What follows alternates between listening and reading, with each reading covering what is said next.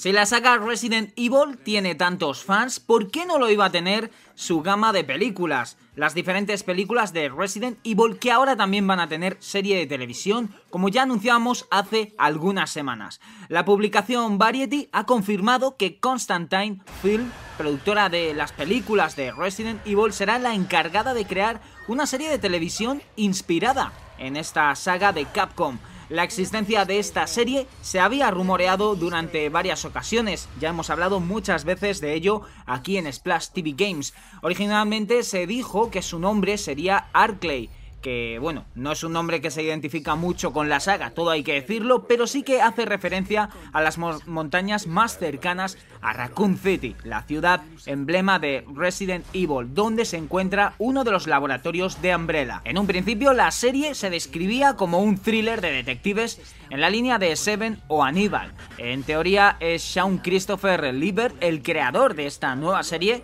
pero Variety no menciona nada absolutamente de este tema. Por lo que bueno, queda un poquito en el aire, queda en incertidumbre si tendrá un argumento nuevo o incluirá a los personajes que ya hemos conocido en la saga Resident Evil. La serie está en las primeras fases de planificación y está prevista para estrenarse después de la próxima película de Resident Evil, el capítulo final que va a ser, ya sabéis, la última entrega de la saga protagonizada por Alice, eh, ya sabéis, Mila Jovovich en ese papel de Alice, un personaje que ya forma parte de nuestras vidas y que bueno, la peli ya sabéis que llega a los cines a finales del próximo año 2015, por tanto estaríamos hablando de que la serie llegaría en 2016.